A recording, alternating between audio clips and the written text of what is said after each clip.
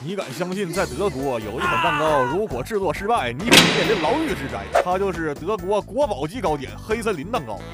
你轻点啊，我可是国宝，小心我告诉你。呃，一个巧克力蛋糕还不简单？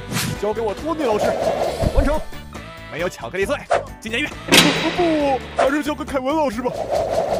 完成。没有樱桃，进监狱。啊 不，看来只能靠我艾伦老师了。完美完成。你还是进监狱吧。为什么？我可是一比一还原。蛋糕、奶油、樱桃、巧克力碎，哪样我没放？因为你的黑森林蛋糕没有加入灵魂食材——樱桃角。没错。